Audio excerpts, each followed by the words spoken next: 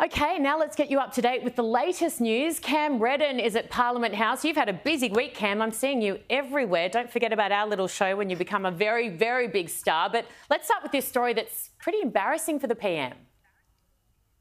No, I never forget about you, Erin. don't worry. Look, this one's fascinating. The Prime Minister's made a, a, pretty big announcement this week about what his intentions are in terms of the government's involvement in the economy, signalling something of a shift where he wants the government to play a bigger role in attracting investment here to Australia. He's looking at some of these big initiatives overseas, particularly the Inflation Reduction Act in the United States, and saying Australian businesses will get left behind if the government doesn't look to partner up more with private, uh, the private sector and generate investment here. He's calling it the Made in Australia Act as part of the, uh, the Future Made in Australia plan.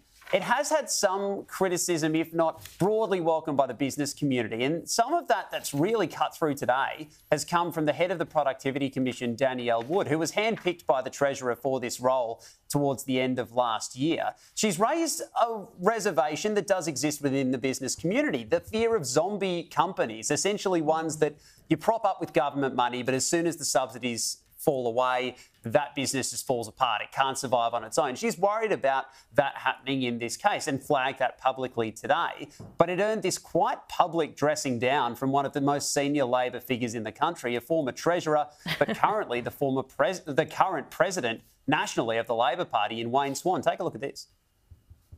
Well, she's completely out of touch with the international reality. I mean, all of our major competitors are doing this. I don't think it's a risk at all. We're in a global race for jobs and opportunities. We need cheaper energy, we need energy independence. Uh, and to do that, we've got to make up for a lost decade on energy policy. So that's quite the public lashing from a very senior figure within the Labor Party, Erin. And Keep in mind, he was, uh, she was the treasurer's pick for this job. Yep. He says he values her opinion, and this is her first contribution really in the role. So she might be uh, slightly less keen to speak out in the future. Who knows? Oh, we'll see. Bless. It's just, I mean, saying it's gold is cruel to the government, but it is, it is gold in my opinion. Um, what's the latest regarding our government and the war in Gaza, Cam? Yeah, a real escalation in the language, I think, around it this week. I remember we were talking over summer, Erin, about this suggestion from David Cameron in his early days as the British Foreign Secretary of recognising Palestine as an independent state, not at the end of a two state solution process, but as a way to get there. And Penny Wong, in this major address in Canberra this week, really did endorse that idea, saying it could be a pathway to peace to try and break the cycle of violence as a way of building momentum behind the two state solution. But ever since then, and it would be a significant shift as well if Australia was to do that, but importantly, thinking about recognising the state is different to actually doing it. The British government hasn't done it. The United States is keen to not go there yet. It's the view mm. of the mm. US, for example, Erin, that uh, this process at the United Nations, which is looking at recognising Palestine and accepting its membership, there's an application on the table at the moment.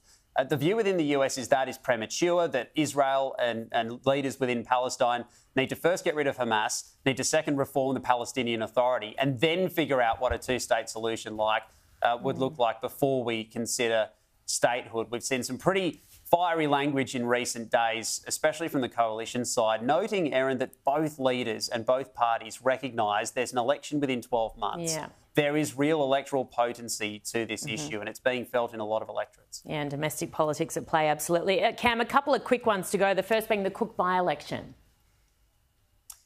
Yeah, we can do this pretty quickly, Erin. It's the laydown misère, one of the most boring by-elections I think I've ever seen. Simon Kennedy is running against virtually unopposed. Yes, there yeah. are some minor party candidates there, but he's going to romp it in tomorrow Okay, night. whatever, whatever, whatever, whatever. Easy, easy. I need to show you I, my favourite part, though, from our beautiful, brilliant coverage today. Have a look at uh, this from our wonderful reporter, Juliet Bradley.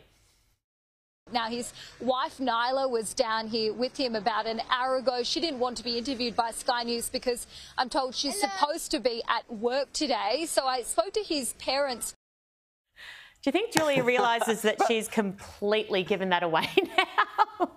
Oh, straight under the bus. What about mum and dad picking up the slack? Good on them for stepping in. It's like those scenes there, and you see the basketball game in the US or something when Kiss Cam comes up or something, and people are really ordering. It's kind of like They're the equivalent of that without be actually being shown. Exactly. I yeah, love that. I love that. Really quickly. Oh, um, work. Don't look at me. Exactly. Yeah. Um, John Howard. I've got him on later in the show, but he's upset about the naming of a building in Canberra. Just quickly, Cam, if you could fill us in on that. In 20 seconds or less, Erin, this is the Health Department building in Canberra. It's known as the Sirius Building, which was, of course, the flagship of the First Fleet. It's currently undergoing a renaming process. Some suggestions that this might be in relation to concerns over how it would be perceived on Australia Day, connections to the First Fleet as well. John Howard's given this idea quite a significant whack today. It yeah. was starting uh, started to be built under his leadership and was completed afterwards a process ongoing to rename it, Erin. No idea if what they're going to call it. The department doesn't know either. Oh, honestly, that's we, the suggestion today. Where will this end? We cannot change our past. We've done more than almost any other country to make up for the negative elements of it. Enough. My lord. Anyway, thank you, Cam. You were brilliant. Never enough from you. Thank you so much.